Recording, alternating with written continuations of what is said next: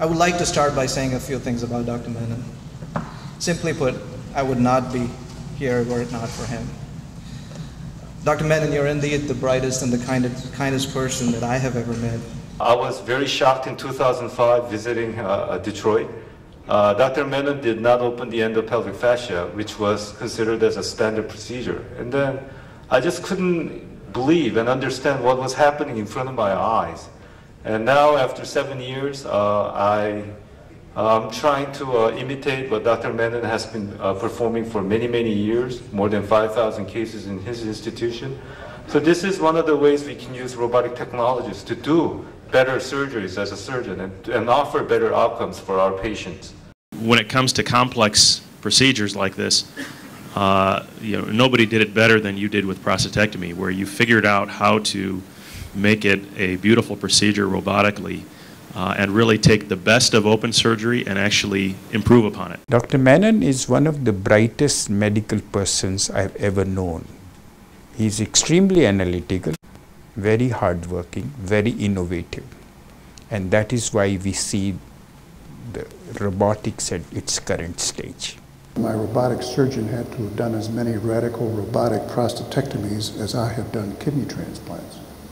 At that time, that was only 2,000. And there was only one person in the world who was qualified to do my procedure. That was Mani Menon.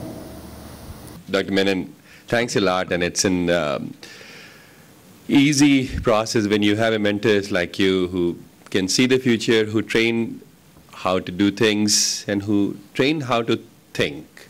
And uh, uh, that is one thing which we learned a lot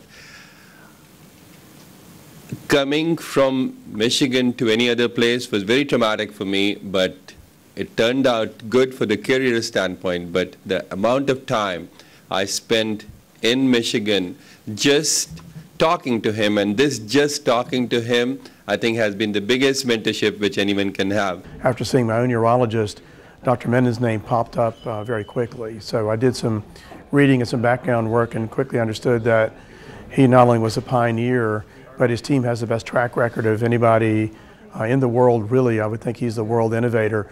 Plus, he's a single medical center that's actually training physicians. When you talk about the Dr. Menon, everything is first. He's the first foreign medical graduate who was who did a residency from John Hopkins University.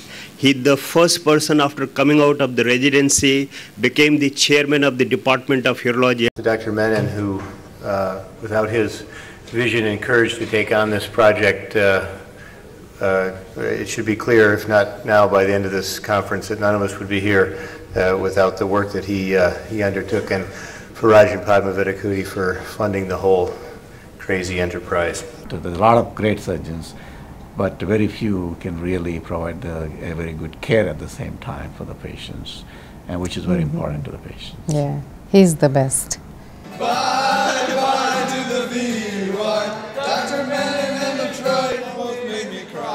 Many of uh, Dr. Menon's uh, trained fellows or residents have graduated from his program and gone on and become leaders in their own institutions. Many of the techniques that evolved were attributed to the work that Dr. Menon did. He was really a pioneer and a, a visionary. I think intuitive and rest of the world owes about robotic surgery to him a lot. When we started, everything was crude. We didn't have this HD. We didn't know the techniques. We were developing it. So your state of evolution will be a hundred times easier than my uh, state of evolution.